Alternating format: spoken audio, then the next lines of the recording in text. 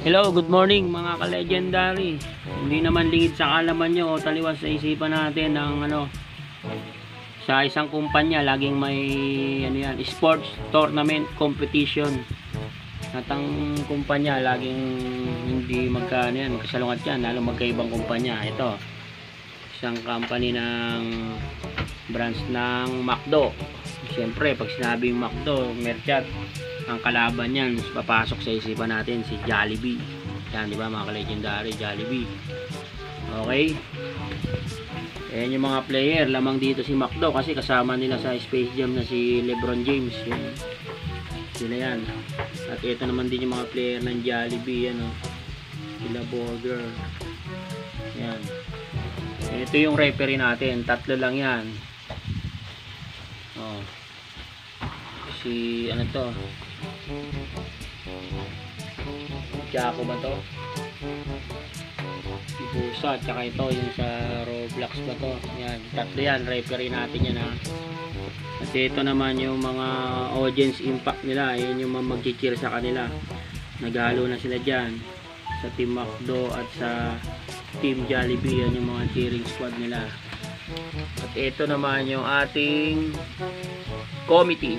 Siyempre, kailangan natin ng committee para walang dayaan, patas ang rules and regulation.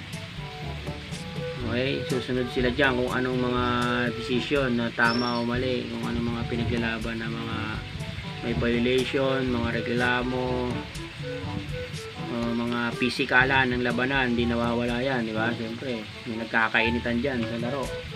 Hindi lang basta-basta laro. Oh, speaking of nagkakainitan, siyempre, mas kailangan natin ang bouncer, ang mga security guard na merong mag-aawat pag mas na magkagulo. Eh, yan, mga bigatin yung mga bouncer natin dyan na mag-aawat.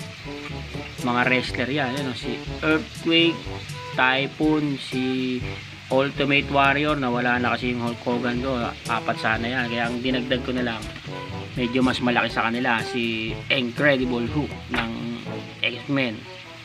Okay? Ah, Marvel pala, Marvel 'yan. Si ano, Incredible Hulk. Para siyempre kung magkainitan sa laro, magkapikunan dahil nga may pisikalan, may aawat sa kanila. Okay? Ah, bali ito, part 1 pa lang to mga ka-legendary. ah. Mga legend tong mga maglalaban na to. Ito, pinakakilala nyo naman yan. Siyempre, si Lebron James. Talagang mahirap talunin yan. Yung Jollibee, sinong pinakaano nila rito? Star player, wala. Pero okay lang yan. Lalaban at lalaban yan. Si Jollibee na talaga yung pinakaano nila dyan. Okay, paita ko ulit ha. Ito ang committee para patas ang desisyon. At ito yung mga mag-cheer sa kanila. Audience Impact. Tatlong referee. Po. Oh. At ito yung mapapanalunan nila. Ayan yung mga trophies, awards. Kung sinong magcha-champion sa kanila, di ba? Pagkatapos ng game.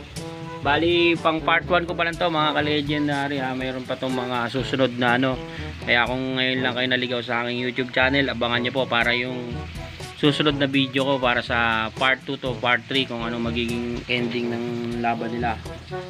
Okay? Ah, God bless sa mananalo at ano, enjoy lang para masubukan yung sportsmanship sa isa't isa. Kahit magkaiba kayo ng mga pinagtatrabuhan o kumpanya, merchant. Manatilihin lang yung maayos na pakikitungo at paisama sa bawat isa dyan. Okay, maraming salamat. God bless. Bye-bye. Legendary. Subscribe, like, and share lang po tayo. Maraming salamat po. The legend is here. Okay? Bye-bye.